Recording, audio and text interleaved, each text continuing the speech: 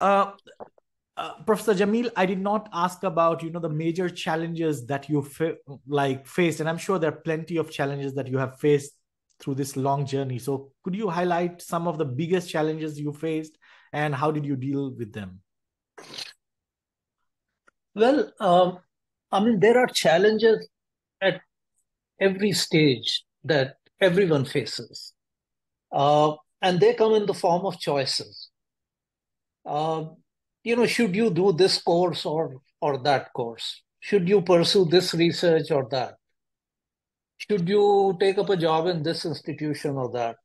Uh, you know, we we all have these these choices to make, and the the way I have dealt with these choices is to look at it objectively, plan it in my head, but not to overplan uh, to sometimes also listen to your heart or your gut you may you know whatever you may call it.